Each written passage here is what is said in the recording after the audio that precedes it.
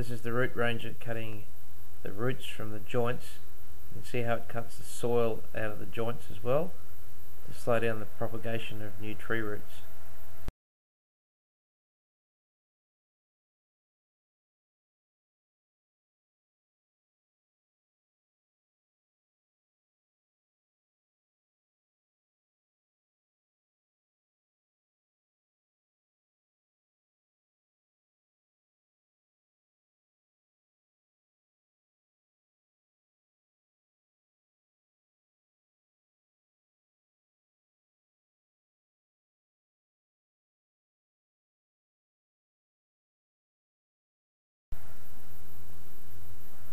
See here, it's punched a big hole through a big six inch wad of roots, blowing a hole right through it.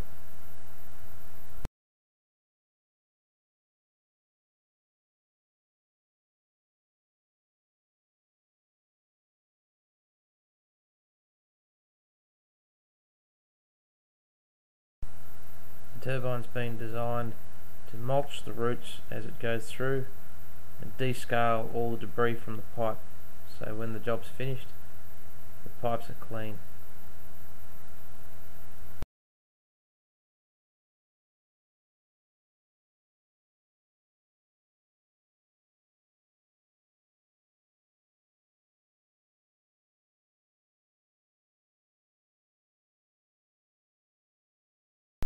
This is a demonstration of the root ranger cutting some pallet timber in half.